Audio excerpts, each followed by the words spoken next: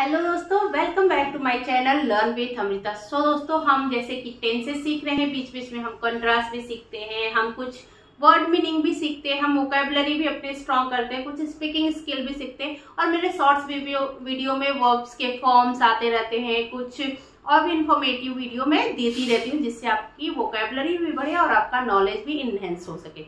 ठीक है दोस्तों? तो अभी इसके पहले जो हमने टेंसेस का सिलसिला में हमने सीखा था प्रेजेंट परफेक्ट टेंस आज हम सीखेंगे पास्ट परफेक्ट टेंस ओके तो लेट्स स्टार्ट दोस्तों। पास्ट परफेक्ट टेंस जो होता है, उसमें जो हमारी हेल्पिंग हेल्प जो हमारी हेल्पिंग वर्ब होती है, वो होती है हैड ठीक है हेड का यूज़ किया जाता है। अब किसी भी सेंटेंस को पहचानते कैसे? मतलब हम पास्ट परफेक्ट टेंस के बारे में बा, बात कर रहे हैं लेकिन उसको हम सुन करके बोल करके देख कर करके पढ़ करके कैसे पहचानेंगे कि उसकी पहचान क्या होती है? क्योंकि बोलने के लिए पढ़ने के लिए पहले उसकी पहचान भी सबसे ज़्यादा इंपॉर्टेंट होती है। तो उसमें जब जो भी पहचान होता होता है चुका था। दोस्तों, चुका था, चुकी थी, चुके थे, आ थी, ई थी और ए थे।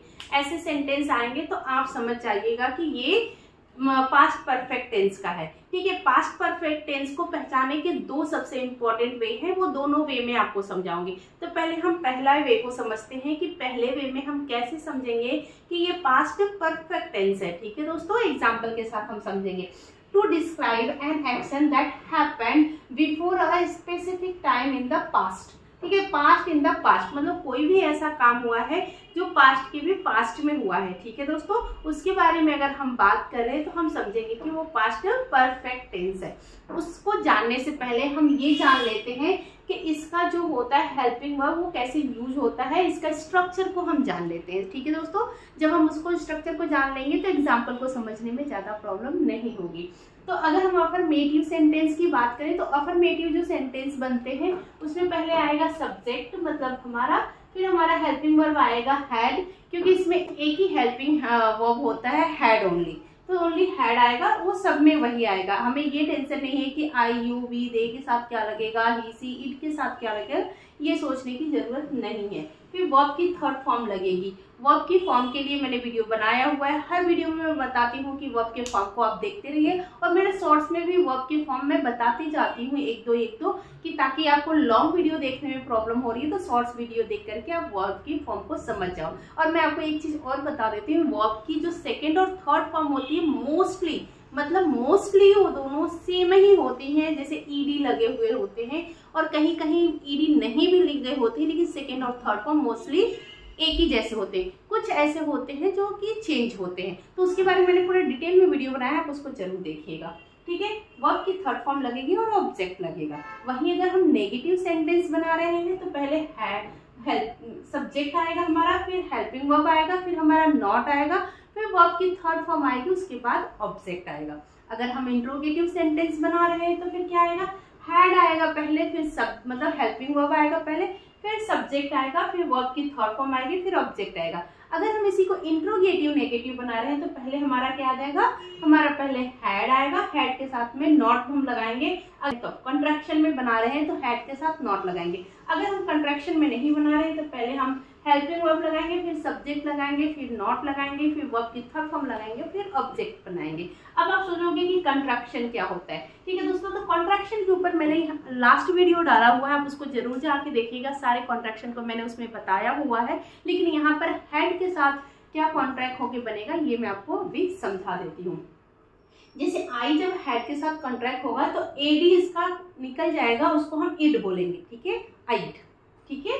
तो ये सिर्फ़ शॉर्ट फॉर्म हो जाएगा। एपोस्ट्रॉफी एस ऊपर लग जाएगा आई का आई रहेगा और हेड का ए डी निकल जाएगा ओनली ए डी निकाल करके ओनली डी यूज़ होगा। ठीक है दोस्तों? फिर बी के साथ ही वही होगा विड हो जाएगा, ठीक है? फिर यू के साथ यूड हो जाएगा दे के साथ डेड हो जाएगा सी के साथ सिड हो जाएगा ही के साथ हिट हो जाएगा इट के साथ इट हो जाएगा। और हैड और नॉट दोनों एक साथ आएँगे तो हैड हो जाएगा। मतलब ए और एन के साथ ओ इसमें साइलेंट हो जाएगा मतलब ओ गायब हो जाएगा। एच ए डी आएगा, फिर एन आएगा, फिर ओ एपोस्ट्रॉफी एस की जगह रिप्लेस हो जाएगा और फिर टी आ जाएगा। इसी तरह हर एक जो हेल्पिंग वर्ब होते हैं जैसे इज़ नॉट आता है तो इजंट हो जाता है आर नॉट आता है तो अरंट हो जाता है। इसके ऊपर मैंने ये वीडियो बनाई हुई है आप इसको ज़रूर देखिएगा ताकि आपका ये भी कॉन्सेप्ट क्लियर हो जाए। सो so, दोस्तों अब हम चलते हैं जानते हैं कि हम पहले तरीके से कैसे पहचानेंगे कि ये पास्ट परफेक्ट टेंस है। तो फ़र्स्ट लिखेंगे कि कैसे हम जानते हैं to describe an action that happen before the specific time in the past मतलब एक स्पेसिफिक टाइम में पास्ट में वो घटना घट चुकी है जिसके बारे में हम बात करें तो पास्ट परफेक्ट टेंस होगा। ठीक है दोस्तों? फॉर एग्ज़ाम्पल मैं खाना खा चुकी थी। ठीक है, ये चीज़ मैं भी जानती हूँ और तुम भी जानते हो। मतलब हम दोनों इस बात को जान रहे हैं कि हाँ मैं पास्ट में खा चुकी थी, हम कल सुबह या आज सुबह खा चुके थे, उसके बारे में हम बात कर रहे हैं आपसे। तो स्पेसिफिक टाइम जो है ना हम बात कर रहे हैं स्पेसिफिक टाइम के बारे में पास्ट के बारे में। ठीक है दोस्तों? तो वहाँ पे मैं खाना खा चुकी थी तो आई हैड हैड फ़ूड अब यहाँ पे बड़ा कंफ्यूजन होता है। जब भी ये सेंटेंस आता है कि मैं खाना खा चुकी थी या वो खाना खा चुका था जब भी ये वाला आता है, क्योंकि इसमें हम वर्ब की थर्ड फॉर्म लगाते हैं तो हैड की थर्ड फॉर्म हो जाती है हैड ठीक है? हैड की थर्ड फॉर्म क्या हो जाती है? हैड तो ये जो हैड है, ये हमारी, हमारा, ये वर्ब है। मतलब खाना खा चुकी थी, खाने के लिए। खाना खा चुकी थी। तो हैव मतलब खाना, ठीक है? और खान हैड इसका थर्ड फॉर्म हो गया। तो पहला हमारा सब्जेक्ट है, ये फिर हमारा हेल्पिंग वर्ब है, ये हमारा वर्ब है, और ये ऑब्जेक्ट है। मैं खाना खा चुकी थी। तो इसमें कंफ्यूजन अक्सर होता है, इसलिए मैंने इसको पहले ही लिखा ताकि आपका ये कंफ्यूजन क्लियर हो जाए कि यहाँ पर अगर ये फ़र्स्ट फॉर्म होता तो ऐसे लिखता I have I had have food have food होता, लेकिन यहाँ पे थर्ड फॉर्म लिख रहा है, इसलिए हम हैड का यूज़ कर रहे हैं ओके फिर राधा जा चुकी थी। राजा, राधा हैड गॉन राधा जा चुकी थी। ठीक है दोस्तों? राधा हमारा सब्जेक्ट हो गया, फिर हमारा हेल्पिंग वर्ब फिर हमारा वर्ब अब इसमें ऑब्जेक्ट कोई नहीं है, क्योंकि यहाँ पे ये नहीं बताया है कि राधा कहाँ जा चुकी थी। अगर यहीं पे रहता कि राधा मार्केट जा चुकी थी तो हम लिखते, Radha had gone to the market ठीक है दोस्तों? नेक्स्ट हम पढ़ेंगे, वह नहा चुका था। ही हैड टेकन बाथ अब देखिए, जैसे कि मैंने आप बताया था कि सेकेंड और थर्ड फॉर्म दोनों एक मतलब सेम ही आते हैं जब भी फॉर्म यूज़ होता है, लेकिन कुछ कुछ एक्सेप्शन रहते हैं। जैसे टेकन का जो होता है टेक टेक टेक टुक और टेकन होता है तो ये चेंज हो जाता है। तो कहीं कहीं ये चीज़ होता है तो इसके लिए वर्ब की आप वीडियो ज़रूर देख लेना।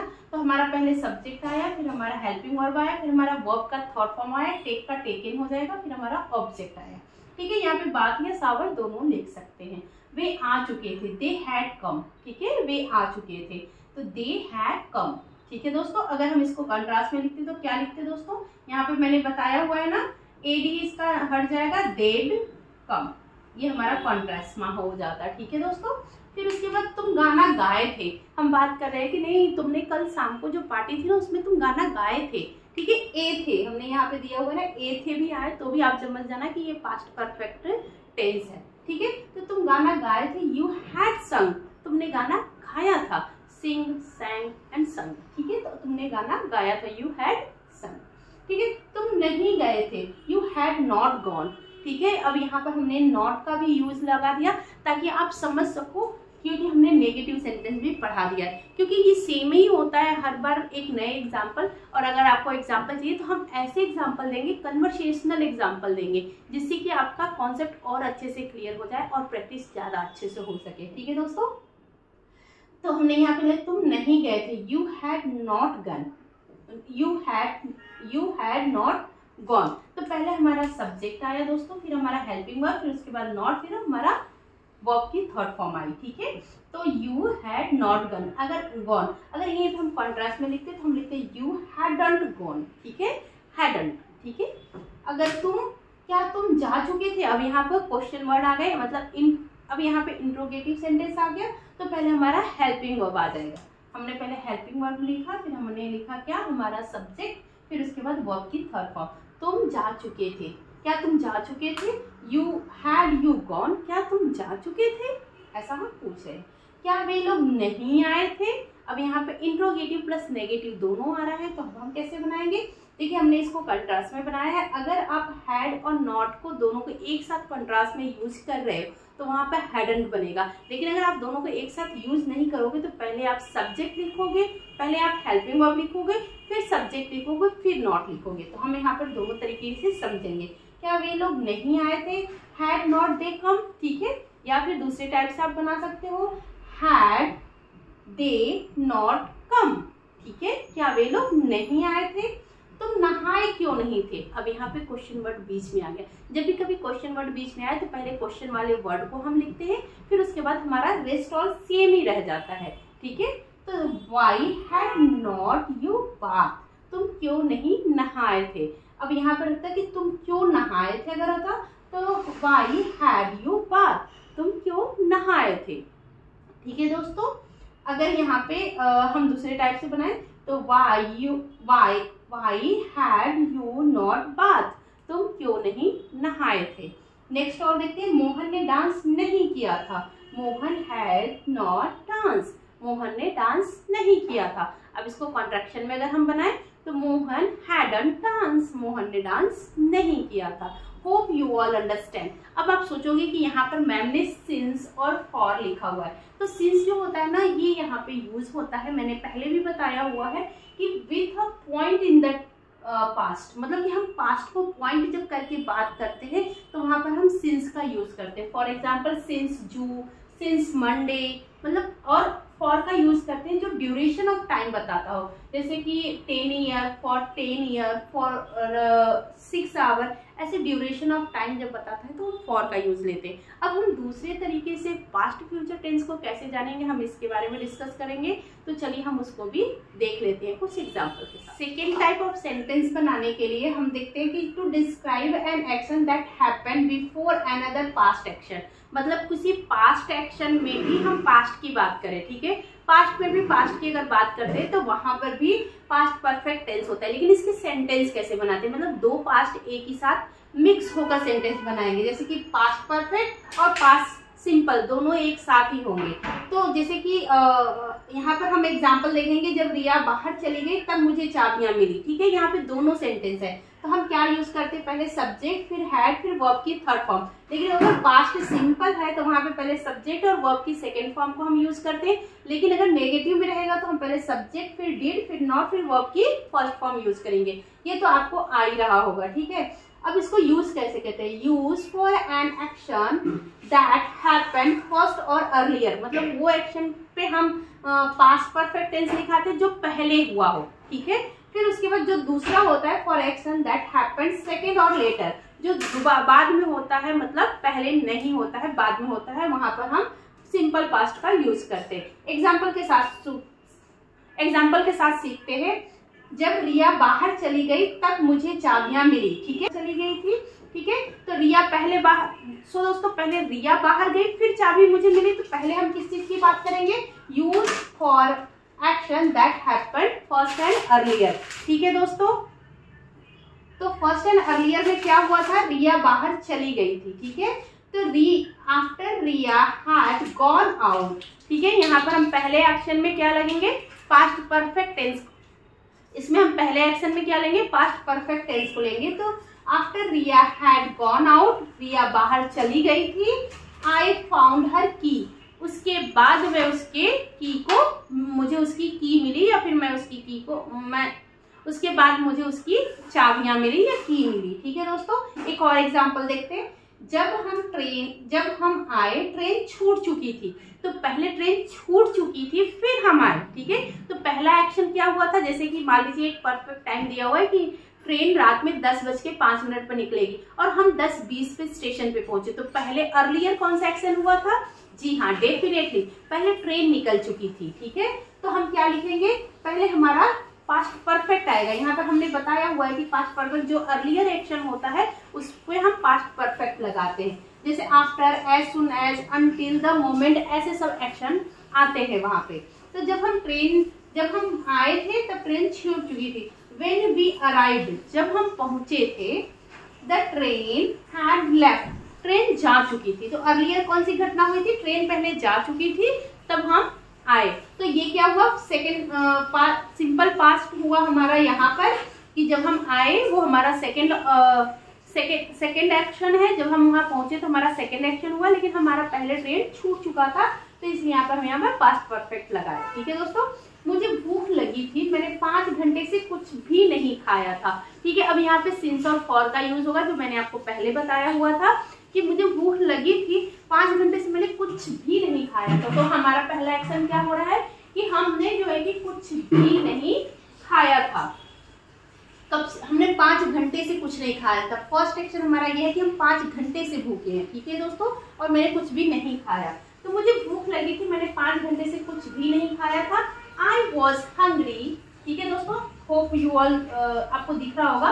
I was hungry I had not eaten anything for five hour मैं पिछले पाँच घंटे से कुछ भी नहीं खाई हूँ। मुझे भूख लगी थी। ठीक है दोस्तों? या खाई थी, मुझे भूख लगी थी। फिर नेक्स्ट और देखते हैं। मुझे नहीं पता वो कौन था। मैं उससे पहले कभी नहीं मिली थी। ठीक है? मुझे नहीं पता कि वो कौन था। मैं उससे पहले कभी भी नहीं मिली थी। I did not know who he was मुझे नहीं पता वो कौन था। तो यहाँ पे आप देखोगे कि सिंपल पास्ट भी लगा हुआ है और पास्ट कॉन्टिन्यूस का भी यूज़ हुआ है। तो I don't know I didn't know I didn't know मुझे नहीं पता था वो ही who was who he was वो कौन था, मुझे नहीं पता था।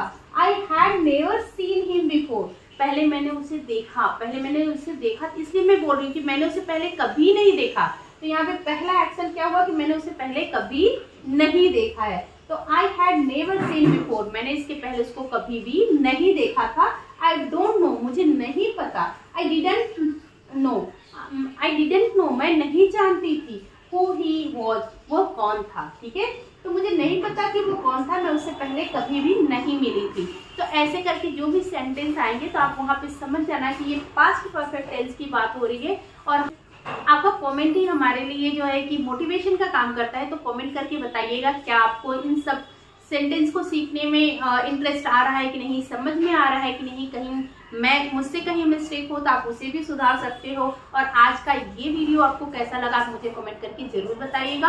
और अपने दोस्तों के साथ अक्सर शेयर कीजिए ताकि आप उनके साथ वन टू वन बात कर सको, अपनी प्रैक्टिस को इम्प्रूव कर सको, आप प्रैक्टिस करते रहो साथ में, क्योंकि जब तक प्रैक्टिस नहीं होगी, कभी भी हम आगे नहीं बढ़ सकते। तो जब अपने दोस्तों के साथ फैमिली के साथ इस वीडियो को शेयर करोगे, वो भी सीखेंगे, तब वो आपके साथ टॉक करेंगे मतलब बात करेंगे, तब जा करके आपका प्रैक्टिस कंप्लीट होगा और आप प्रैक्टिस करना स्टार्ट करोगे। तो hope you all understand that things जो भी मैं आपको सिखाती हूँ, आप लोगों को अंडरस्टैंड होता होगा, समझ में आता होगा।